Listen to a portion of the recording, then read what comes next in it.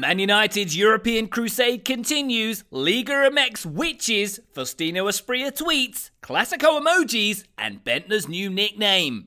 It's Friday, April 21st. My name is Ryan Bailey, and I welcome every single one of you to the Goalmouth podcast, even Chelsea fans. That's how inclusive and friendly I'm feeling today. All right, let's get straight to business with our top story. We kick off with the ginger stepchild of European competitions, the Europa League. Manchester United are into the final four of the competition, but they made a bit of a meal out of it, needing extra time at Old Trafford to see off Anderlecht. It was another brilliant performance from Marcus Rashford, but a bad night for the mighty Zlatan Ibrahimovic, who coupled a pretty poor game with a troubling looking injury. By the time you listen to this, the draw will already have happened, and you'll know which team United will massively struggle against in the next round. Big American soccer news now. If you thought Christian Pulisic was the only American on the books at Borussia Dortmund, you'd be right. But soon that might just change. According to German tabloid Bild, Wood has a 12 million euro release clause at Hamburg, which would go down to just 5 million euros if the team are relegated. And Hamburg are currently doing their annual dance around the relegation zone, so there might be a bargain to be had, and Borussia Dortmund are reported to be one of those interested parties.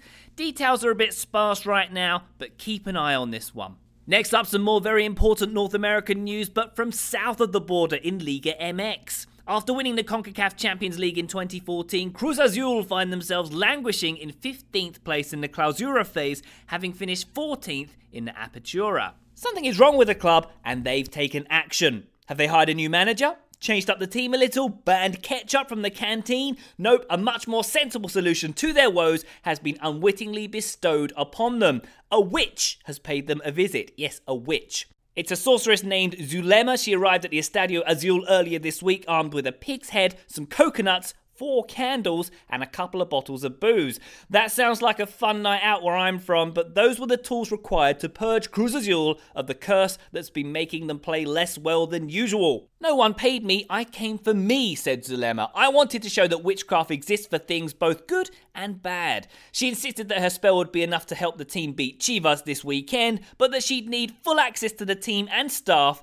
to help them win the league title. Now, this isn't the only time that witchcraft has crossed paths with the beautiful game. Derby, Birmingham, Leeds, and Southampton have all hired shamans and witches to clear curses at their stadiums, while Liverpool have been cursed with having Alberto Moreno in their squad for several seasons now. Faustino Asprilla Twitter controversy update now. The former Newcastle legend and slightly unhinged Colombian striker caused a stir this week when he tweeted some unfavourable words in the direction of Real Madrid following their controversial Champions League win over Bayern Munich. No more robberies, a team of rats, he wrote shortly after the game, but he soon backtracked, insisting that he'd been hacked even though he hasn't actually deleted the offending tweet yet. Hmm.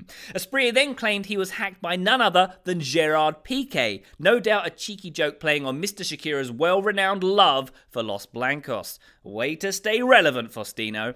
Alright, you're almost certainly aware it's the Clasico tomorrow. Barcelona have the opportunity to go even on points with their fiercest rivals at the top of La Liga, with the only thing standing against them being a mighty informed Real Madrid team and the fact they can't defend very well at the moment. But this edition of the rivalry is set to be extra special as Twitter has released nine new emojis, especially for the game, that will pop up when you type in certain hashtags.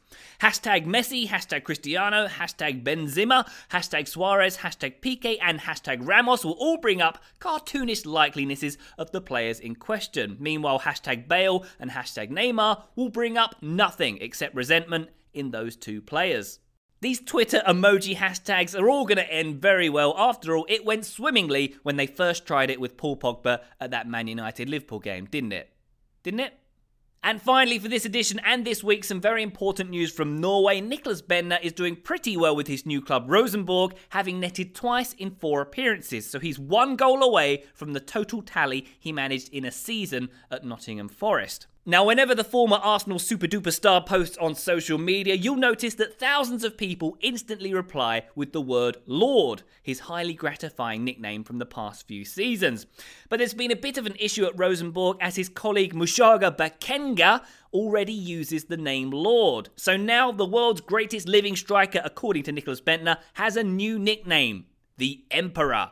Now, I'm pretty sure an Emperor is more powerful than a Lord, unless it's a Star Lord, of course, but it seems like a decent upgrade. I now look forward to seeing more of Bendtner's famous fashion choices on Instagram so that we may see the Emperor's new clothing. Ah, thank you. Ah, thank you. Ah, thank you. Alright, gang, that's it for the Goalmouth today. Stay in school, be excellent to one another, continue to pour scorn on MK Dons like all good soccer fans should, and please leave us a lovely review on iTunes.